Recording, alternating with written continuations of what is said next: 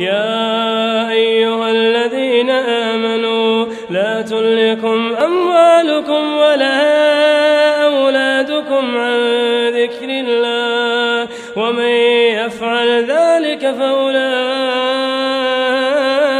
هم الخاسرون وأنفقوا مما رزقناكم من قبل أن يأتي أحدكم الموت فيقول رب لولا أخرتني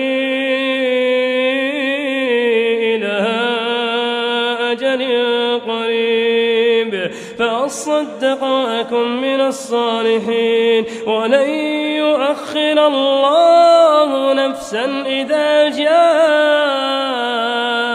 أجلها. والله خبير بما تعملون.